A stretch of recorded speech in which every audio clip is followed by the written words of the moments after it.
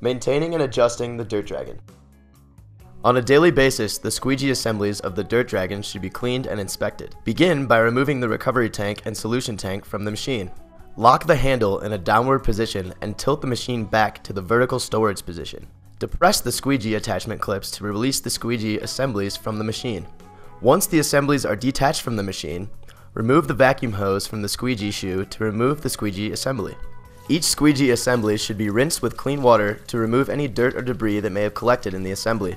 Inspect the squeegee blades for signs of excessive wear or tearing. On a weekly basis, the brush assembly should be cleaned and inspected. Begin by removing the two thumb screws that hold on the brush spindle plate and remove the plate. The brush is easily removed by sliding it out of the brush drive key. Rinse the brush assembly with clean water to remove any dirt or debris that may have collected in the bristles. Inspect the brush for any signs of wear or damage.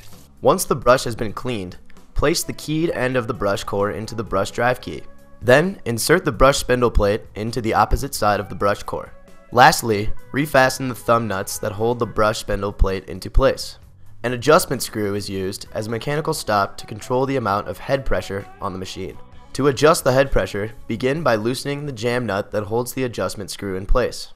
Next, turn the screw clockwise to decrease head pressure or counterclockwise to increase head pressure.